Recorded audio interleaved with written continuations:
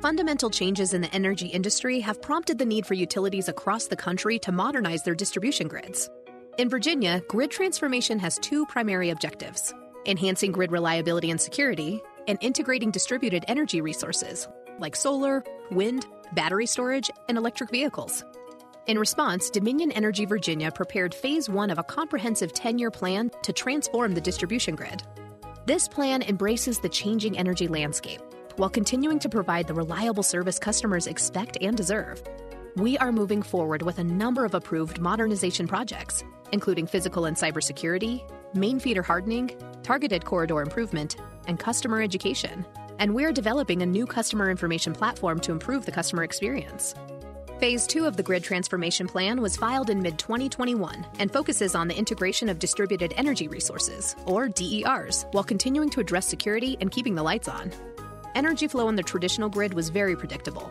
It started at a central generating plant, moved through our transmission lines, and into the electric substations and neighborhoods where overhead or underground lines connected residents and businesses alike. But that's all about to change, and very rapidly. The Virginia Clean Economy Act and Dominion's energy commitment to net zero will accelerate the growth of solar, so Virginia's distribution grid must be ready. Energy flow on the grid of the future needs to look different, requiring additional intelligence and technology to effectively integrate DERs into the distribution system. We plan to modernize certain distribution substations to enhance our remote monitoring and control capabilities. We will install intelligent devices along our power lines to provide real time data at strategic locations and send it back to our system operators.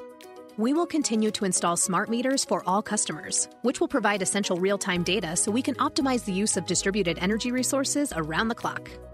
We propose to install systems to process, manage, and use this new data to optimize grid operations and work to maximize the benefits of renewable energy for our customers.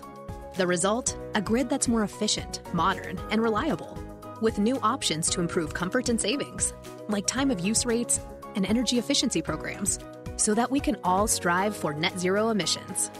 Modernizing the grid has no quick fix, and time is of the essence. We must act now and remain agile. Dominion Energy Virginia is ready to implement this bold plan on behalf of our 2.6 million customers to meet their needs and expectations and build the grid of the future.